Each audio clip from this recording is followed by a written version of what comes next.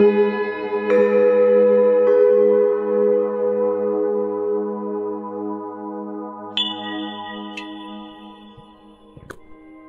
के सवाल में आज का प्रश्न राधा जी का नोएडा से है।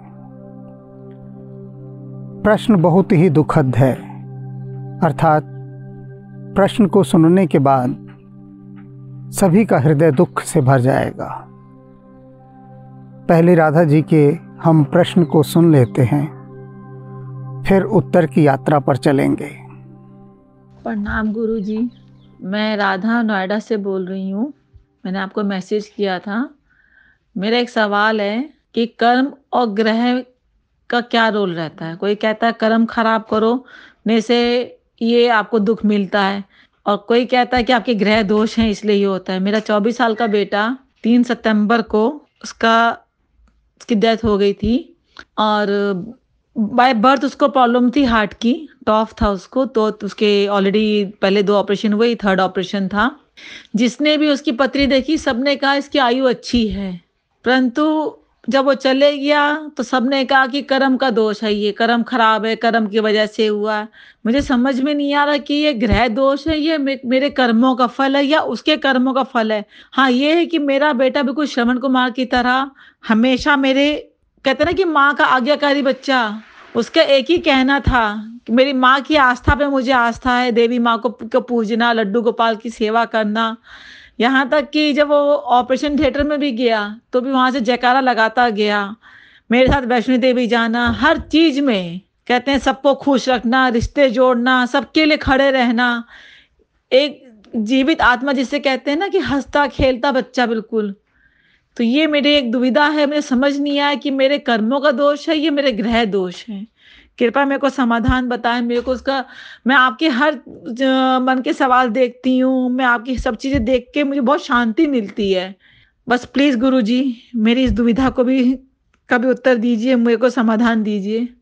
प्रणाम गुरु जी मैं जानती हूँ गुरु जी इतना समय आपके पास नहीं कि आप एक एक जनों की बात सुन सके, लेकिन धन्यवाद गुरु जी कि आपने कम से कम मेरी बात सुनी, जानी। बस यही मेरे लिए बहुत है गुरु जी मैंने बहुत जनों को देखा, बहुत जनों की बातें सुनी, सबको फॉलो करने की कोशिश की, सबका एक ही ज्ञान मिला। परंतु आपसे बात करके, आपकी बात सुन के मन को शांति मिली। मैं ये उम्मीद नहीं करती कि मेरा प्रश्न उठेगा या मेरे प्रश्न का जवाब मिलेगा। उसके लिए भी नहीं, मगर आपसे बात करके, अपने दिल की बात कह के मुझे बहुत शांति मिली गुरु जी मेरा बेटा लाखों करोड़ों में एक इस जमाने का श्रवण कुमार था।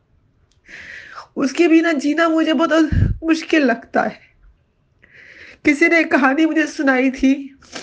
आज वो एक कहानी मुझे लगता है शायद मेरे लिए बनी है कि दो ग्वालिन थी।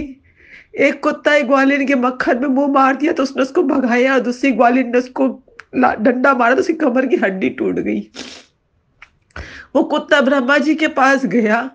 और ब्रह्मा जी से बोला कि मुझे उसने ऐसे से मारा, मेरी हड्डी टूट गई। तो ब्रह्मा जी ने उससे कहा, तुम उनके घर में बेटे का जन्म लोगे और पूरी सुख सुविधा, सब कुछ उनसे सेवा करवाओगे, प्राप्त करोगे, सब कुछ करवाओगे। लेकिन जब तुम्हारा करने का वक्त आएगा तो तुम उनकी कमर की हड्डी तोड़ के चले जाओगे। वही सब मेरे साथ हुआ। मेरा वो बेटा गुरु जी दुनिया में अनोखा बेटा इसने कभी किसी का अनादार अनादार नहीं किया। सुबह उठते माँ बाप के पैर छूना, प्रणाम करना। माँ की बात को मानना, माँ के दिल को समझना। गुरु जी मुझे जवाब नहीं चाहिए, लेकिन आपसे अपने मन की बात कह के बहुत शांति मिल रही है। एक तसल्ली से आ रही है कि शायद कोई है जिससे मैं अपनी मन की बात कह पा रही हूँ। जो सुन रहा है मेरी मन की बात। मुझे पता है कि आपके पास इतना समय नहीं है कि एक जनों की बात सुन सके। लाखों करोड़ों लोग आपसे बात करना चाहते हैं। आप लेकिन आप तक मेरी मैसेज पहुँच जा रहा है, खबर पहुँच रही है मेरे लिए बहुत है गुरु जी बस समझ नहीं आ रहा ऐसा क्यों हुआ मेरे साथ? मैं शक्ति के उपासक हूँ माता रानी के उपासक हूँ माँ ने कभी मेरी झोली खाली नहीं की। जब मैंने जो चाह, माँ ने मुझे दिया। मैं उसको अपना मैका ही बोलती हूँ, मैं वैष्णो माँ को। उनका नवासा है। शायद जो भी किया होगा, माँ ने कुछ सोच के किया होगा, भविष्य में शायद कुछ भलाई होगी, कुछ होगा। लेकिन वर्तमान बहुत कष्टदायक है गुरु जी झेलना बहुत मुश्किल लग रहा है। कभी कभी मन करता मैं भी अपने बेटे के पास चली जाऊँ। हिम्मत जवाब देती है, लेकिन फिर भी खड़ी हो जाती हूँ। बस आपसे अपने मन की बात कह के बहुत तसल्ली लगती है। मुझे पता है, जवाब मेरे सवाल का कुछ नहीं होगा।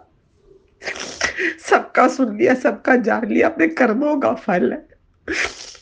सोचती हूँ, अब कर्म सुधार लू ताकि अब बुढ़ापा कष्टदाई ना हो। जीवन के आगे कर्म खराब ना हो, मेरा बेटा जहाँ भी हो, सुखी हो।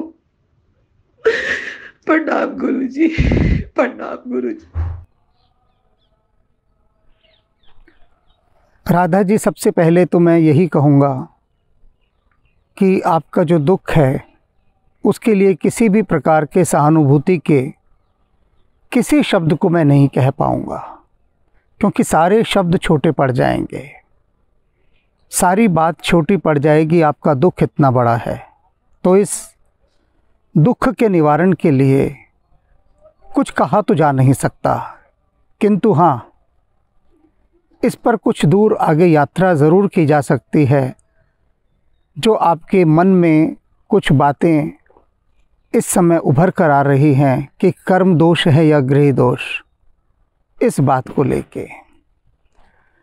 तो जहाँ तक ग्रह दोष की बात बताऊँ मैं आपको तो जिस समय महाभारत का युद्ध होने जा रहा था, तब धृतराष्ट्र ने एक से एक बड़े ज्योतिषी को बुलाया।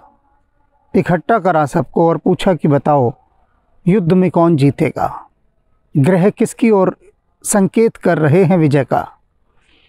सारे ज्योतिषियों ने सब कुछ हिसाब किताब लगा लिया और कहा कि महाराज, जीत तो कौरवों की ही होनी है। ग्रहों की नक्षत्रों की सारी गणना इस ओर इशारा कर रही है कि पांडव पराजित होंगे और कौरव जीतेंगे। और इस विधान को कोई नहीं बदल सकता। ग्रहों की दशा कुछ ऐसी है। अब महाभारत का युद्ध हुआ। परिणाम आप सभी के सामने। कौन जीता? पांडव। तब धृतराष्ट्र ने सभी को बुलाया और कहा कि आप सब तो कहते थे कि कौरव जीतेंगे। ये आपकी ज्योतिष शास्त्र को क्या हुआ? ये झूठा है ज्योतिष शास्त्र या आप झूठे हैं कि धन के लोभ में आपने हमें गलत मार्गदर्शन किया? तब उन ज्योतिषियों ने कहा, न हम झूठे हैं, न ग्रहों की स्थिति झूठी है, कोई भी झूठा नहीं है, लेकिन उनके मध्य एक ऐसा कर्म योगी आ गया कि जिसने ग्रहों की सारी स्थितियों को ही तत्काल बदल डाला। अब जब ग्रहों को ही कोई बदल डाले तब ग्रह क्या करेंगे? कोई भी कुछ नहीं कर सकता, क्योंकि वह कर्म योगी इतना उच्च कोटि का था। आप उसकी उच्चता का अनुमान इसी बात से लगा सकते हैं कि जो ग्रहों को भी बदल डाले। तो अर्थात कि कौन होगा वो उसके विषय में हम कुछ कह नहीं सकते।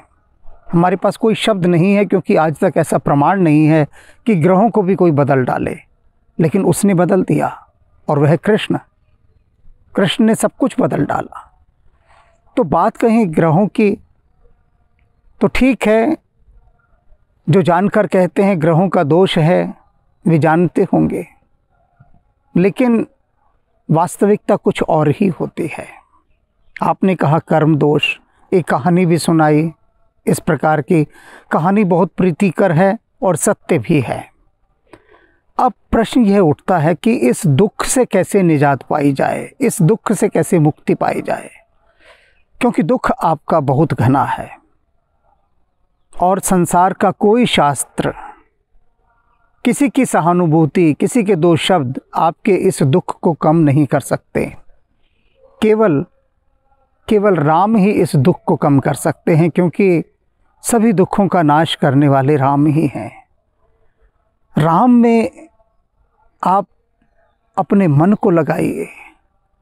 राम जी से ही प्रार्थना कीजिए कि राम जी, जो जीवात्मा आपने मेरे पास भेजी थी, मेरे पुत्र के रूप में भेजी थी, और इतने वर्षों तक रहकर उसने मुझे बहुत सुख दिया, आप उसे अपने चरण कमलों में स्थान दीजिए। और यदि भविष्य में उसे कहीं और किसी के संतान के रूप में जब भी आप जन्म दें तो उसे दीर्घायु बनाइएगा। प्रभु से ये बारंबार प्रार्थना कीजिए और राम जी आपकी इस प्रार्थना को अवश्य सुनेंगे। निश्चित रूप से आप देखिए, एक बात पर दृष्टि डालिए। आपने अभी स्वयं कहा कि आपका पुत्र श्रवण कुमार था। अर्थात कितनी उच्च चेतना की जीवात्मा को परमात्मा ने आपके घर भेजा। ऐसा भी तो हो सकता था कि आपका पुत्र ऐसा होता कि आप इतने वर्षों तक दुख झेलती रहती, दुख में रहती कि वह बुरी संगत में है, मेरी परवाह नहीं करता, चिंता नहीं करता, और तब उसको यह स्थिति प्राप्त होती। आप सोचिए, उस पहलू में क्या होता। तब आपका दुख तो हज़ार गुना बड़ा हो जाता, हज़ार गुना, कि भगवान ने आपको संतान भी दी और वह संतान ऐसी कि जो हमेशा आपको सताती है, दुख देती है। लेकिन राम जी ने आपके घर में इतनी देवताओं के घर से आत्मा भेजी, जिसने आपके आपको गंगा स्नान ही कराया ऐसा समझ लीजिए कि पुत्र के रूप में गंगा स्वयं आपके घर बह रही थी और श्रवण कुमार होना किसी पुत्र का कोई साधारण बात है क्या? निश्चित रूप से आपका जो पुत्र रहा होगा, वह श्रवण कुमार की ही आत्मा रही होगी, जो आपके घर में आई। अन्य कोई हो नहीं सकते। जैसा आपने बताया, उसके अनुसार तो स्वयं श्रवण कुमार ही आपके घर में अवतरित हुए। और अब श्रवण कुमार को राम जी ने अपने पास बुला लिया है किसी और के यहाँ सुख देने के लिए। आपके पास जितनी यात्रा की उसके लिए राम जी के प्रति आभार प्रकट कीजिए, धन्यवाद प्रकट कीजिए और बारंबार यही प्रार्थना कीजिए कि जो भी कुछ पुण्य आपने अर्जित किए हैं, वह आपकी उस संतान को परमात्मा दे दे। और वे देंगे, निश्चित रूप से देंगे, क्योंकि अगर राम जी ने उस श्रवण कुमार की आत्मा को आपके यहाँ के लिए चुना था तो इसमें भी कोई संदेह नहीं कि आपके बहुत पुण्य रहे हैं, अथा पुण्य रहे हैं। उन पुण्यों का कोई हिसाब किताब नहीं था। अन्यथा राम जी कहाँ किसी को ऐसा पुत्र देते हैं? विरले ही होते हैं, विरले। जो ऐसी संतान को पाते हैं। तो मैं भी अपनी तरफ़ से राम जी से ये विनती कर रहा हूँ। आपके पुत्र के लिए कि राम जी उस पर अपनी कृपा दृष्टि बनाए रखें और उसे जहाँ भी भेजें, अब दीर्घायु बनाकर भेजें। और यह होगा भी। राम भली करें।